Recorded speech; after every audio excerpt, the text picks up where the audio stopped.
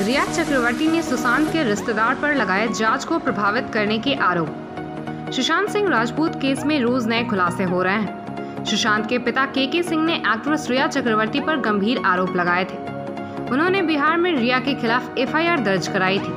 वहीं रिया ने supreme court में याचिका देते हुए पटना में अपने खिलाफ दर्ज एफआईआर को मुंबई ट्रांसफ़र कराने की मांग की है। इसी के साथ रिया ने आरोप लगाया है कि सुशांत के रिश्तेदार जाँच को प्रभावित कर रहे हैं।